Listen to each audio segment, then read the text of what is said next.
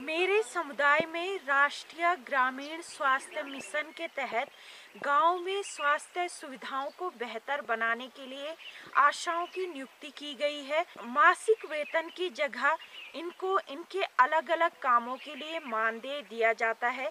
आप एक आशा वर्कर हैं यहाँ की गैरसैन की तो आप एक कितने लोगों की ज़िम्मेदारी है? सारे लोगों की जितने भी ग्राम सभा में मेरे हैं आप किस तरह से काम करती हैं यहाँ पे पूरे जो तीन ग्राम पंचायत है वहाँ पे?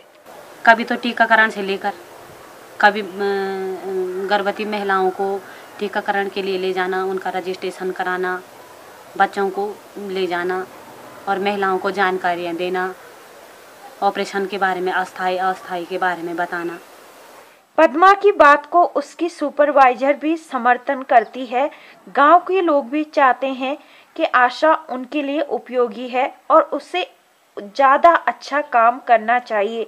पर बिना वेतन के दुर्गम स्थानों पर काम करना आशा पद्मा देवी ही नहीं, सभी आशाओं की दिक्कत बनी हुई है। हमारा गैरसैन क्षेत्र में एक पंचायत है, केड़ा पंडाव।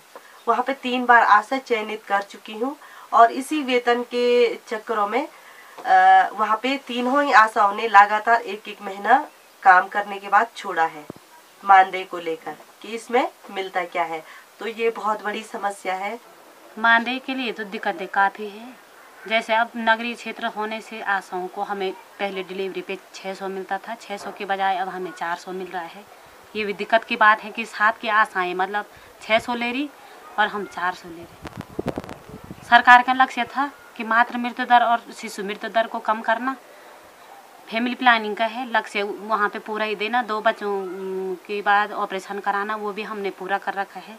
अगर आशा बहनें चाहती हैं कि हमें मानदेय प्रत्येक माह के हिसाब से काम तो हमने हमेशा करना है मिले तो बेहतर परिणाम रहेगा आशा कार्यक्रम का सभी स्तरों पे।